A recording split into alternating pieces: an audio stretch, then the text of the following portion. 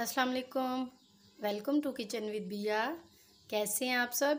अल्लाह ताला आप सबको अपने हिफ्ज़ ईमान में रखे और हर बीमारी से महफूज रखे। आमीन सुम आमीन।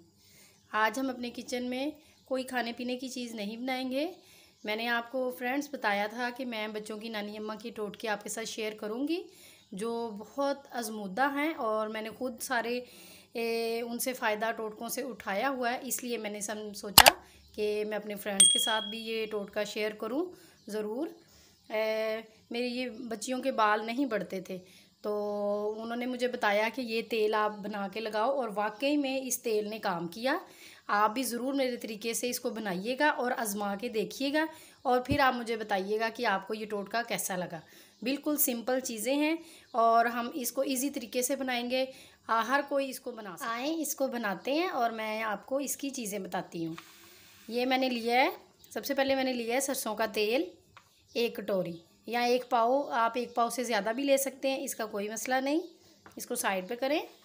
और ये मैंने ली है सिकाकाई पच्चीस ग्राम, रतन जोत पच्चीस ग्राम, और ये आमले हैं ये भी मैंने पच्चीस ग्राम लिए हैं, और ये बेड़े हैं, ये भी पच्चीस ग्राम लिए हैं। ये सब चीज़ें मैंने इक्वल ले ली हैं। अब हम इनको ए, इनको ऐसे ये देखें फली को तोड़ के ये पंसार की दुकान से आपको इजीली मिल जाएँगे। कोई मुश्किल नहीं है।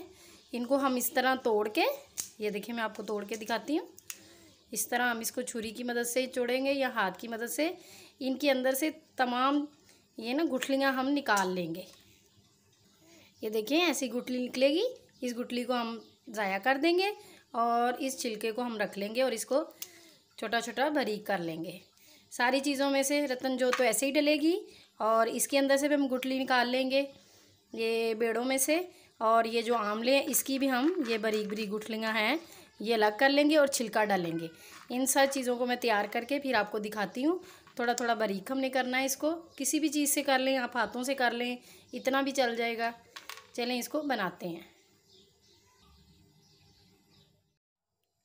ये देखें, इनके मैंने सारे बीज निकाल के इसके बाद मैंने ये कुंडी ली है, उसके अंदर हल्का हल्का सा हम इसको पीस लेंगे। ज़्यादा नहीं, हल्का हल्का सा ये कि ये मज़ीद छोटा हो जाए सिक्का का ये मज़ीद उसके छिलके छोटे छोटे हो जाए। इसको हम, इन सबको हम तेल में पकाएँगे। इस तरह करके इससे जब आप ये तेल लगाएँगे, दो से तीन मरतबा हफ़्ते में लगा लें थोड़ा सा, और लगा के दो से तीन घंटे के लिए आप छोड़ दें। उसके बाद बच्चों को शैम्पू करवा दें। आजकल बच्चे घर में ही होते हैं, आप बसानी बच्चों को लगा सकते हैं। बच्चों के बाल बहुत सिल्की हो जाएँगे, सिल्की एंड शाइनी हो जाएँगे और बच्चों के बालों की लेंथ भी बढ़ेगी। इसमें वो कोई चीज़ नहीं है नुकसानदेह हर एक को ये टोटका सूट कर जाएगा। ये देखें, बस इतना इतना सा मैंने कर लिया और अब मैं इसको निकाल के रख देती हूँ। अब हम ये जो बेड़े हैं, इनके इस तरह करेंगे। ये देखिए, ऐसे तोड़ के इसकी हम गुठली अलग कर लेंगे। ये देखें इसके अंदर से इतनी बड़ी गुठली निकलती है, ये वाली। ये हम वेस्ट कर देंगे और ये छिलकों को हम मज़ीद छोटा छोटा कर लेंगे। ऐसे। ये देखें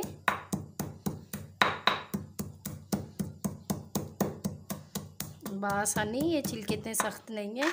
इस तरह हम इन चीज़ों को सबको इकट्ठा कर लेंगे। ये देखें, इस तरह करके, इस तरह हम सारे छिलके इकट्ठे कर लेंगे। ये देखें, ये जो आमले हैं, इनकी गुठली बरीक बरीक है, बीज और ये सख्त वाली गुठली है, ये हम ज़ाया कर देंगे। और ये वाले हम छिलके डाल लेंगे। अच्छी तरह आपको मैं इसलिए समझा रही हूँ कि आप भी बिल्कुल इसी तरह बना के फ़ायदा उठाएँ। ये देखें, इसके हम जो छोटे छोटे बीज हैं, वो हम वेस्ट कर देंगे और जो इसका छिलका है, वो डालेंगे। ये देखें, ये। ये देखें, ये सारा मटेरियल हमारा तैयार हो चुका है। अब हम इसको तेल में पकाएँगे। ये देखें, तेल के नीचे मैंने बिल्कुल लो फ्लेम चला दिया है। अब हम ये सारी चीज़ें इसके अंदर डालेंगे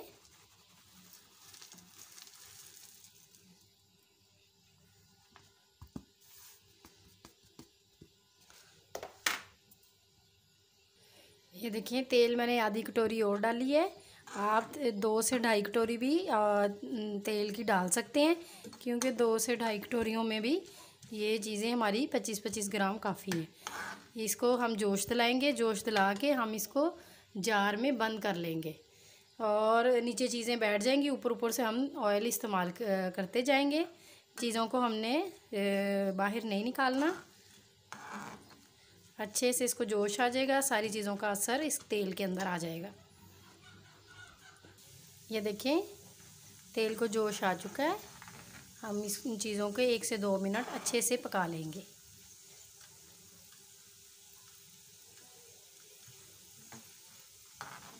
जो मेरे चैनल पे नए हैं, वो मेरे चैनल को सब्सक्राइब कर लें और वीडियो को लास्ट तक देखा करें ताकि आपको अच्छे से समझ आ जाए।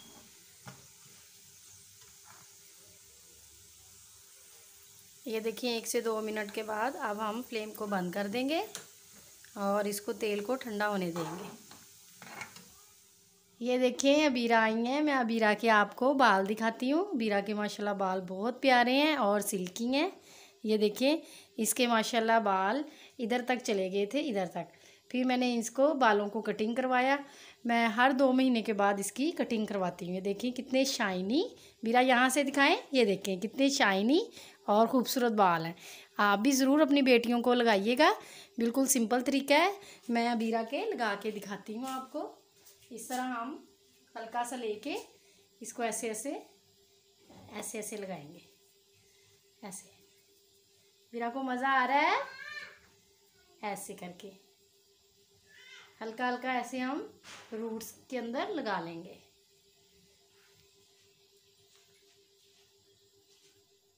ये देखिए, मैंने इस तरह के इसके जार में सेव कर लिया है।